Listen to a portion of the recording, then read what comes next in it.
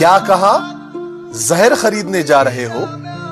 ये दुकानों पर नहीं, लोगों की जबानों पर असली मिलता है।